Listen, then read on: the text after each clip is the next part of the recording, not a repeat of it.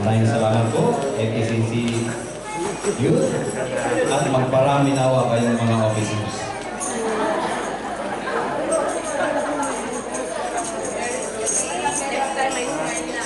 Nakakanawit na, ha?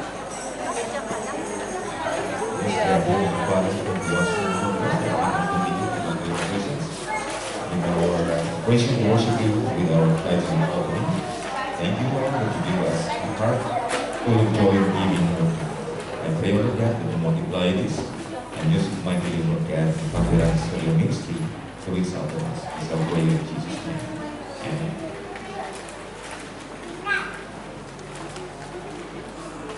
Amen.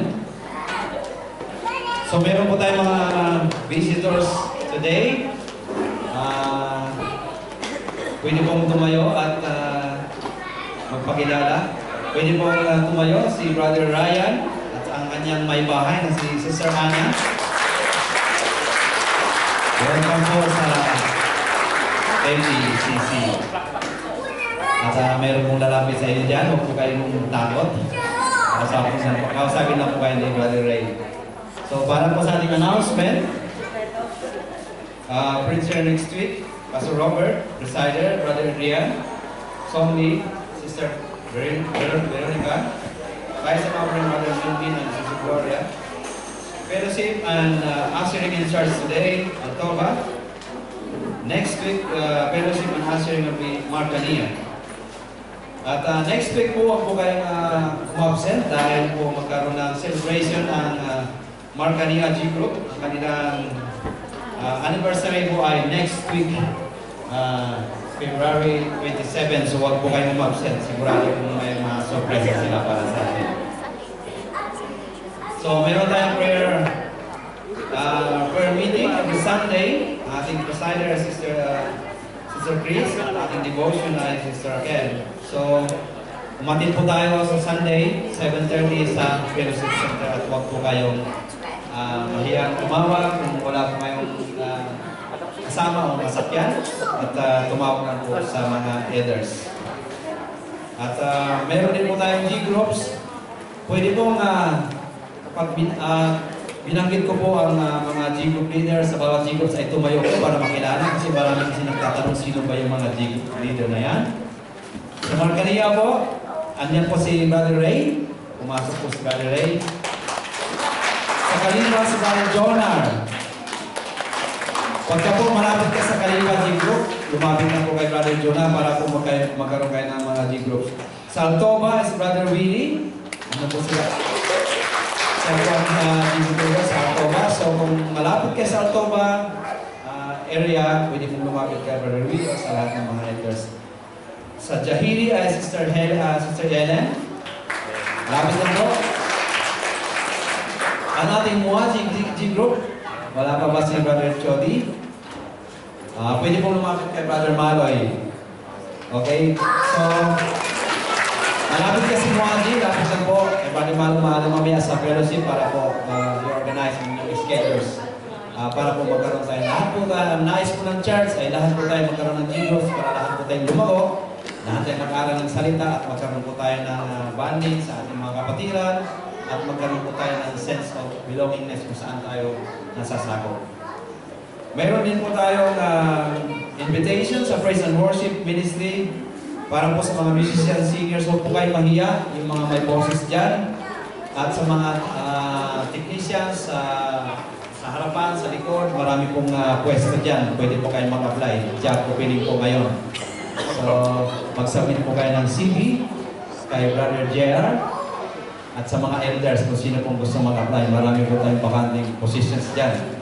So, maglingkod po tayo at ah, mag-apply po tayo ng trabaho sa Panginoon. Para pag, pagdating ng araw, pag humanap tayo sa Panginoon, mayroon man lang tayong, ah, ibig sabihin, meron tayong experience na mapakakita sa Panginoon. Amen? So, further announcement, ah, meron tayong birthday celebrant this week. Sa 19 today, uh, yesterday, Sister Pauline, 24, Sister Joanna. 25, si Brother Bunny. At 26 is si, si Batum. At sa next week na po ang iba. So malaking celebration po this week. At uh, again, huwag po kayo umabsent next week para po sa celebration ng uh, anniversary ng Mar- Marcania G Group. At uh, maghanda na po kayo lahat. Meron po silang uh, surprise presentation. Okay? So, further announcement po, Pastor?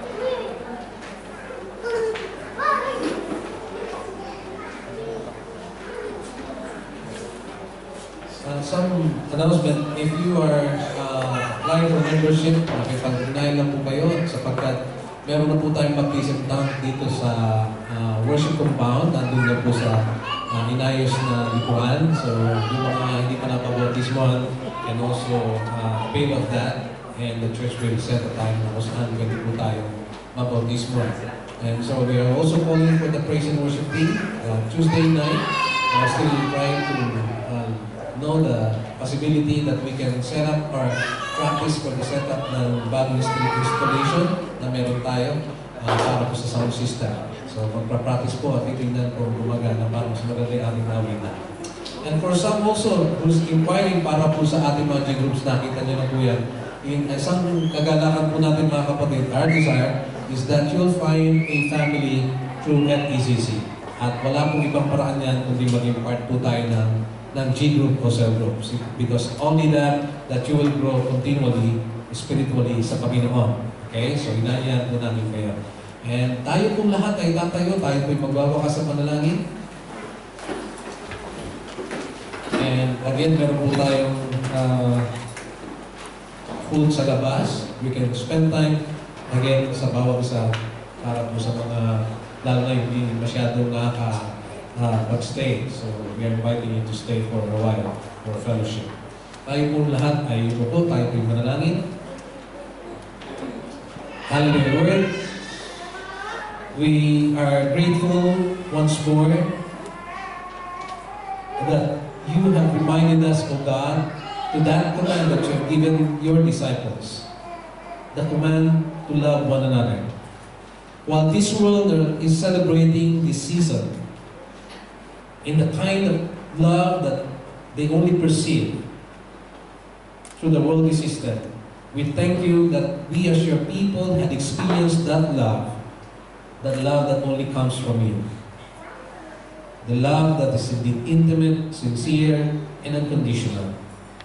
Father, we ask that you will help and give us the courage, and for those of us who has that inhibition, O Lord, to be part of a growing group, I ask that you give, give them the courage also to take part and and and grow through those groups that you have established through the church.